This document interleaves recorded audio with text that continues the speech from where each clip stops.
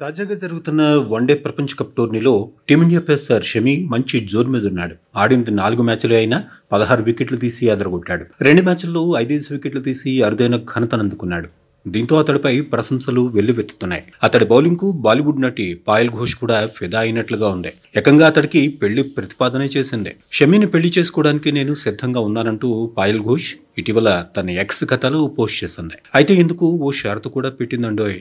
షమి తన ఇంగ్లీష్ను మెరుగుపరుచుకుంటేనే తను పెళ్ళి చేసుకుంటానని చెప్పింది. ఆమె పోస్టుకు నెటిజన్లు భిన్నంగా స్పందిస్తున్నారు. ప్రేమకు భాషతో పనేంటని కొందరు కామెంట్లు చేస్తే షమి ఎలా స్పందిస్తాడో మరి అంటూ ఇంకొందరు ఫన్నీగా రాస్తున్నారు. ఏదేమైనా ప్రస్తుతం ఈ పోస్టు నెట్టింట వైరల్గా మారింది. తెలుగులో మంచు మనోజ్ నటించిన ప్రయాణం సినిమాతో వెండితెరకు పరిచయమైన పాయల్ ఆ తర్వాత పలు సినిమాల్లో కనిపించింది. ఓసరవెల్లి సినిమాలో తమన్నాకు స్నేహితురాలి పాత్రను మెప్పించింది.